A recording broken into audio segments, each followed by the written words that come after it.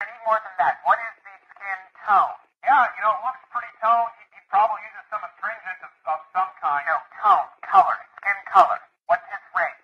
Whoa, uh, well, I, that, that took a, a weird turn. Sir, I just need you to describe the suspect. Well, his skin color, uh, if you have to ask, apparently we live in a world where we have to ask about that. Oh, you see everything through the prism of skin color. It's, it's a dark white. I don't even know what that means,